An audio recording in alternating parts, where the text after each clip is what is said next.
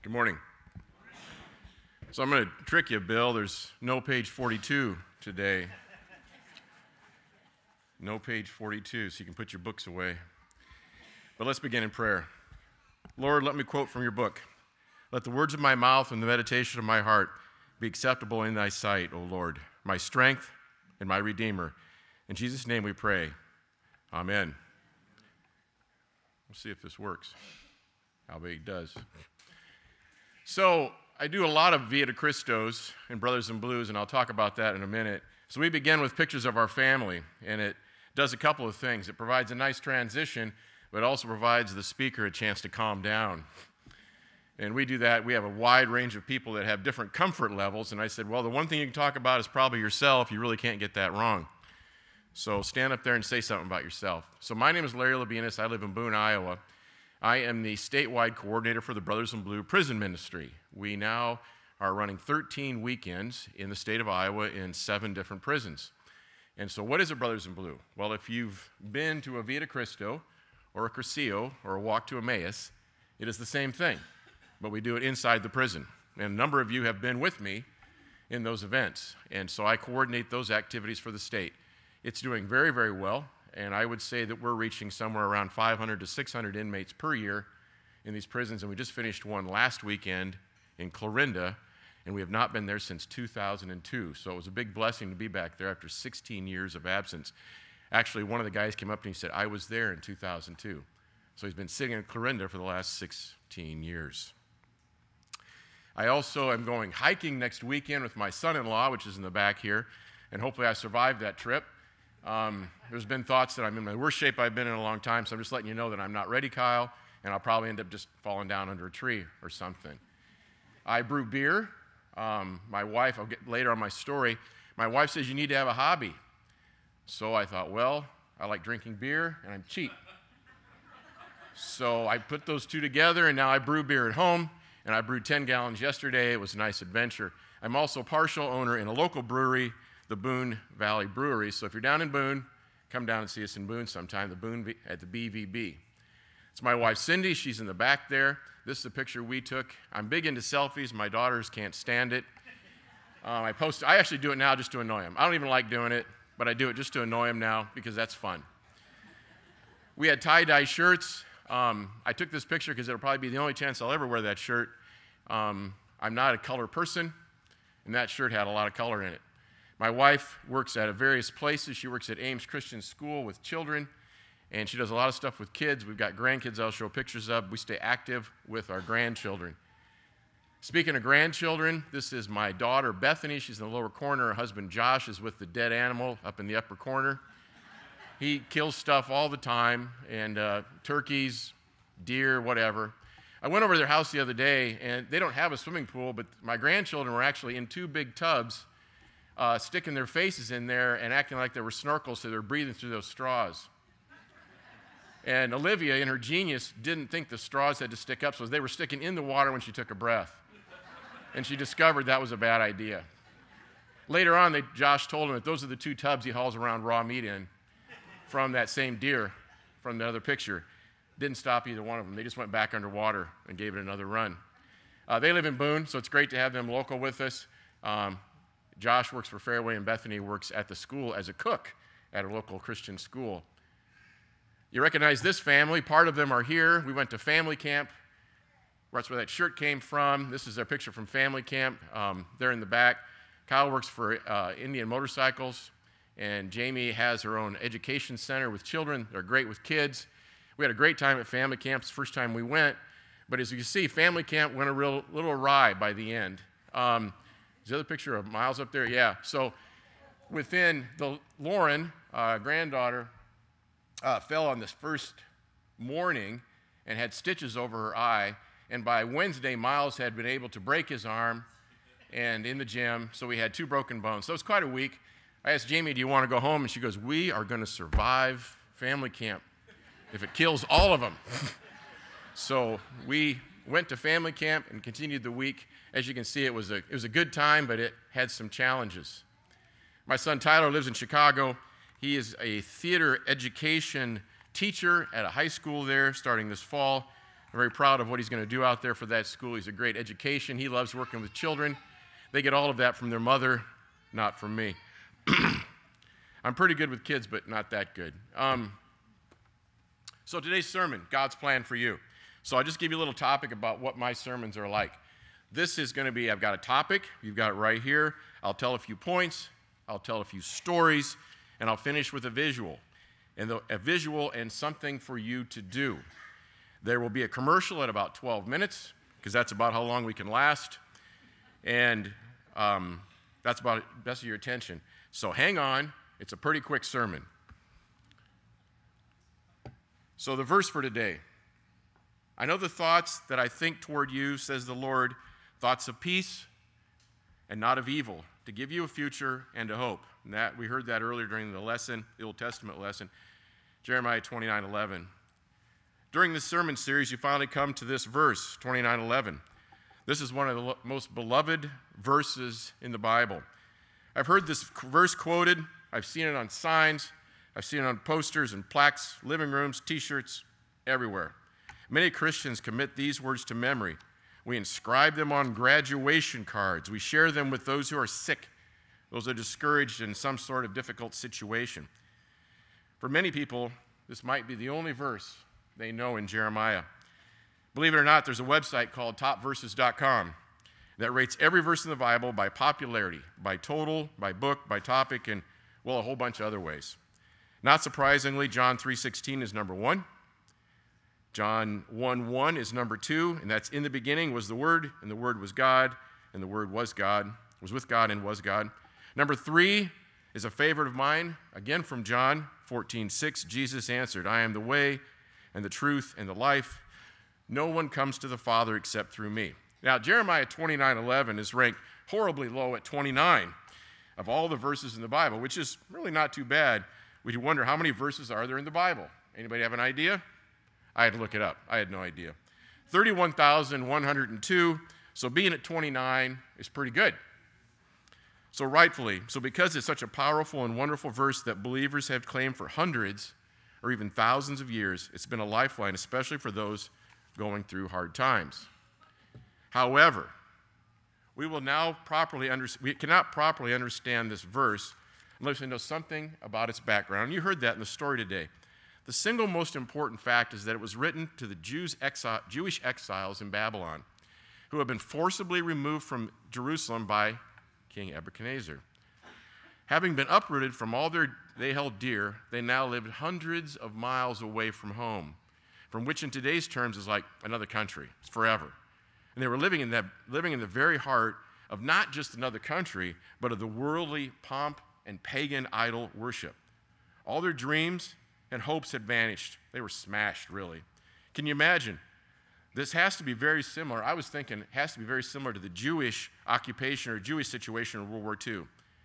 Being forcibly removed, and now just looking out and thinking deep inside and wondered, how could God have let this happen?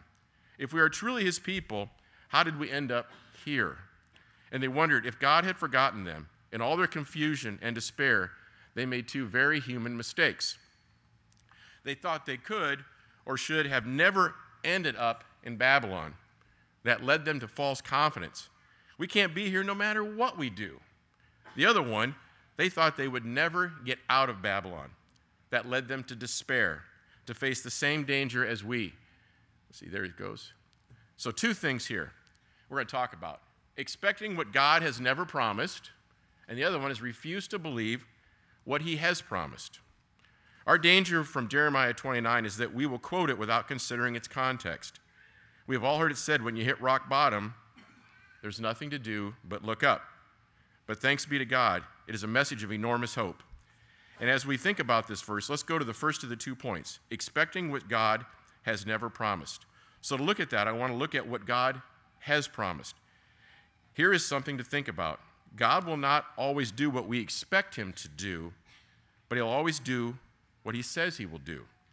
So let's look at God, what God says he will do. God is thinking about us all the time. He says in the passage, I know the thoughts that I think toward you. God thinks about us. Can you even fathom that? I know I, know I can't. I can't get my arms around that at all.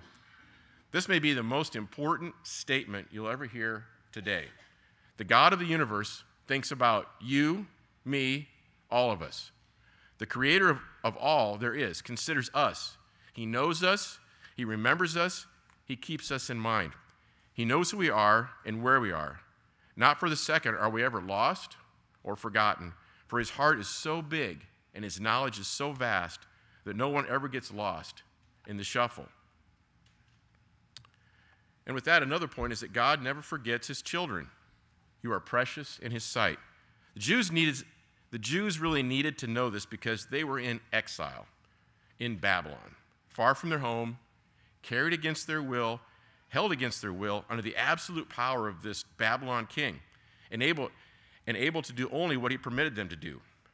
God has just said, You'll be returning home in 70 years. That was in verse 10, which was good news and bad news because it meant that they wouldn't be in Babylon forever but it also meant that they would be there for 70 years. And God says, You think I've forgotten about you. You know that you are here because you forgot me. And it's true that I am punishing you for your own disregard of my commands. But my punishment is not to dis- diminish my affection for you. You are forever in my thoughts. You are still my people. I have not forgotten you. Sometimes it's really hard to put these words in the same sentence I am punishing you and that does not diminish my affection for you. That sort of doesn't make any sense, does it? So I was thinking about that in some human examples, and I thought about times when my kids were small. It seems in a small way that I needed to help in making them understand by some sort of punishment. However, that did not decrease my love or affection for them. Of course not. It showed them that I cared. If I didn't care, I would have done nothing and let them grow up and just be horrible.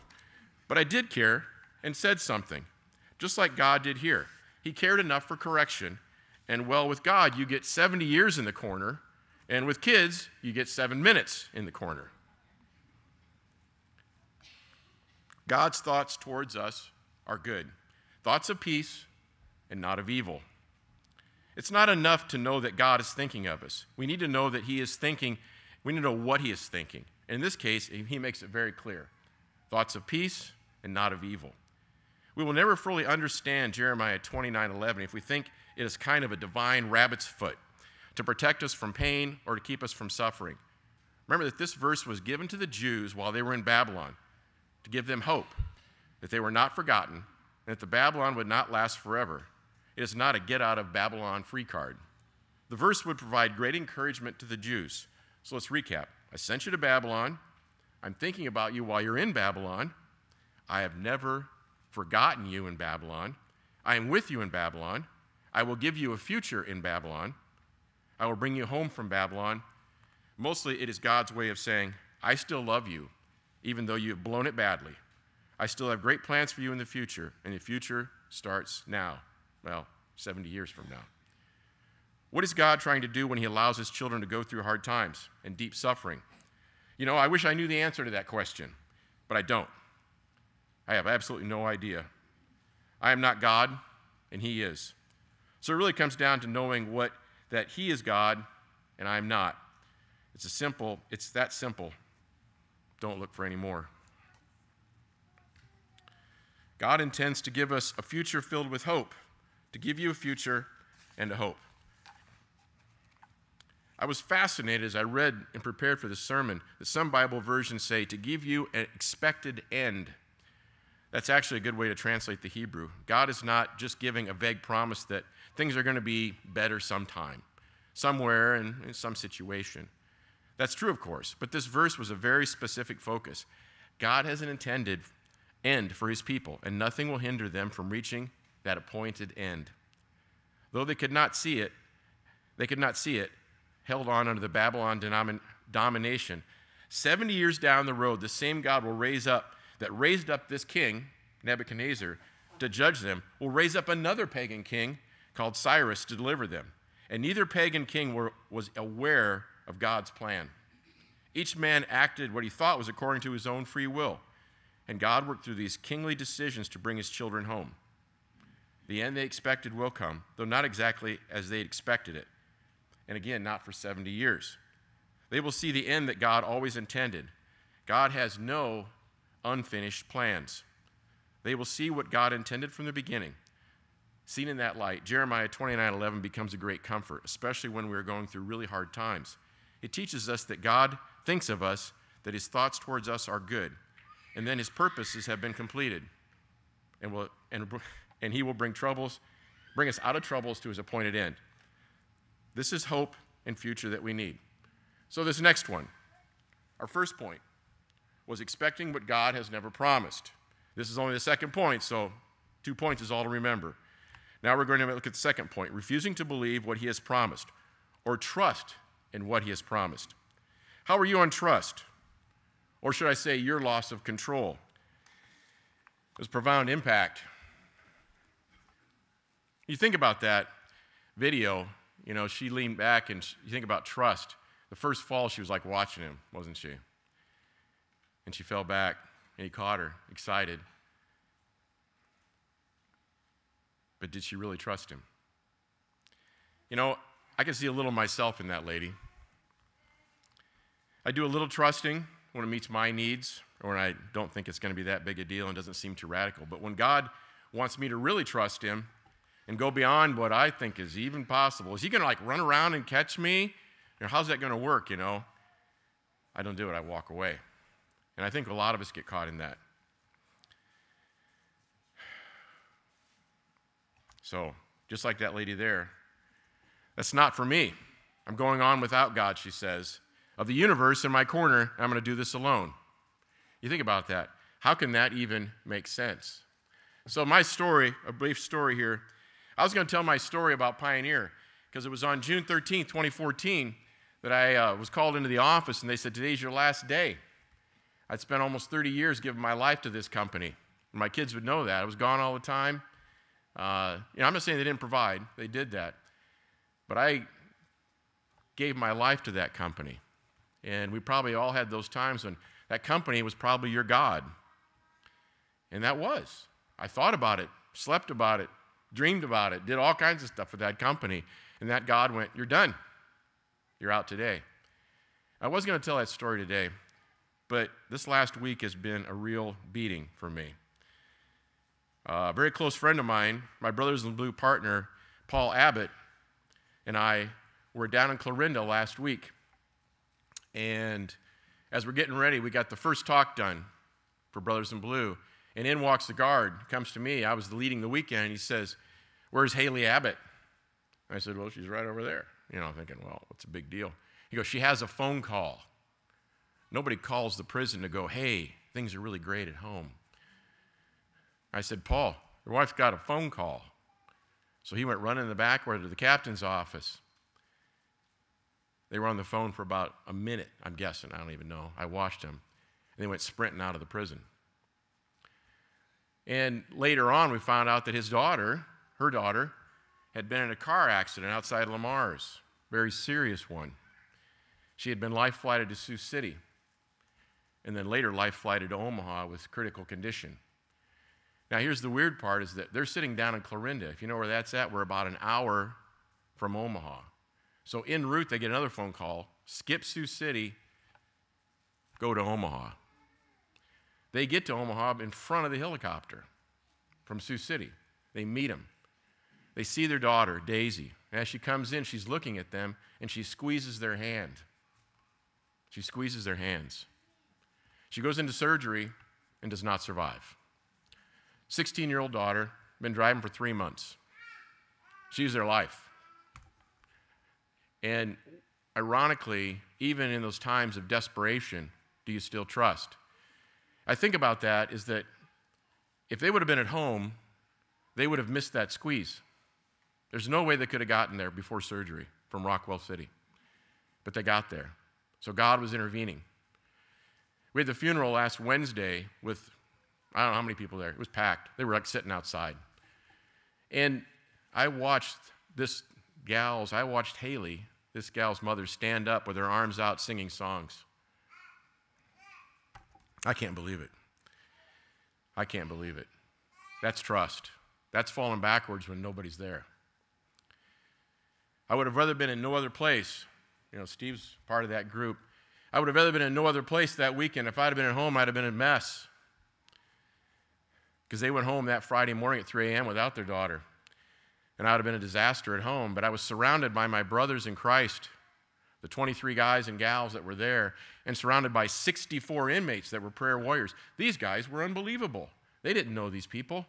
They prayed for them like you wouldn't believe. One guy walked up and handed me, he goes, I, I did this watercolor. It's the only one I've ever done. It was unbelievable in a rose. He goes, I want you to have it. Give it to them. They were giving possessions that they, it was their life, giving those things up, praying continuously, writing notes of encouragement. And I would have rather been in no other place than in prison at that moment. One of the other oddities that God plans as we go through that is that the chaplain for the Clarinda prison was the his brother is the one that read the scripture at the funeral. He's the youth director at that same church. So we're getting, we're getting connected with the brothers. So we have a connection now with that Clarinda prison that's unbelievable. Daisy's death was for not for it hurt, but it was not for nothing. It was for something. God has a plan no matter what it is. So, what then? What should we say in response of all this? Our first and greatest need is to submit ourselves to our Heavenly Father and say very simply, Lord, you know, even though I don't know. You see what is ahead, even when it's very dark for me. You have a purpose, even when my life seems to be going in circles and it seems to be falling into a pit, like for my friends, Paul and Haley. For I see that nothing is happening to me that has not come to me by chance. I bow down before you and say, Blessed be the name of the Lord. Amen. Surely we all need to pray that every single day. In this, if this verse is true, then our position ought to be one of ever increasing hope in the Lord. I admit that it's hard to do when you see that as a child has died in an auto accident. We all, fall, we all live in a fallen world. We ourselves are fallen people. Not yet, but we are, could be and should be someday will be. There is no Bible verse that can take away the pain of this world. Jeremiah 29 11 leads us out of darkness into light. Ironically, that verse is Paul's Abbott's life verse. And I just, every time I hear that verse now, I'm going to be thinking of that moment. For fear not, child of God, no one knows what a day may bring. Who knows if we will make it through this week or even get home? But our God is faithful to keep every one of us in his promises. Nothing can happen to us except as first passed through the hands of our loving God. So, what will happen? So, what happens post this verse? So, what happened after this whole thing? Look it up in Daniel, and you can read about how Daniel, about what happened with them and this king, and how this king, Nebuchadnezzar, went a little goofy. God kind of had him living out in the woods eating all kinds of funny stuff, and how he eventually came to the God of the Jews. So eventually, what goes around comes around. So this is the big finish. Time's up. So, what do I do this week with this message? I'm going to leave you two things today, well, maybe three. One is an exercise, and the other, I'm going to have a video. I want you to take some time this week to really think about your Babylon. What's got you in captivity? What's got you in the corner? What's got you in bondage? And what do you need to be delivered from? When you think of it, when you think of that thing, pray for it.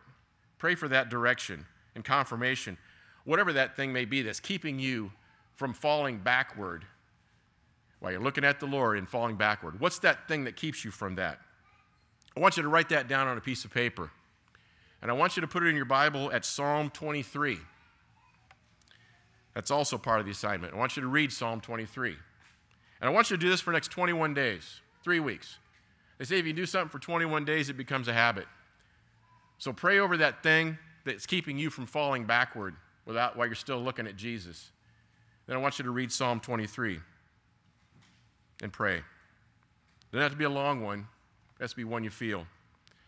A prayer not of deliver, a prayer of deliverance from trust. I trust you completely, Lord, and I'm ready to fall backward, just like that lady in the video didn't want to do. The other has become a song that's somehow beaten into my head is a video from TobyMac. It's a little radical probably for, the, for you guys, but I'm going to do it anyway. All I need is you. And if you listen to some of this modern Christian music, it's pretty amazing. You can look it up on YouTube. So I want you to do is look it up and listen to it and let these words fill your head. Because there was times during this week when all that I could hear was that song. So quiet yourself. Play this song. You know how sometimes you get a song stuck in your head and it won't go away? Let this be that song. The song qu- quotes the 23rd Psalm, and it's extremely powerful. I can tell you this, Pat, like I said, is all I, all I could hear this week. So, recheck. Here's your things. What's keeping you from falling backwards while you're staring at Jesus? What do you got to give up? Write it down, put it in your Bible in Psalm 23. Spend the next 21 days reading Psalm 23 and praying over that thing that's keeping you from doing that. And if you get time, watch this video. Um, it's powerful as well about trusting in the Lord. Amen.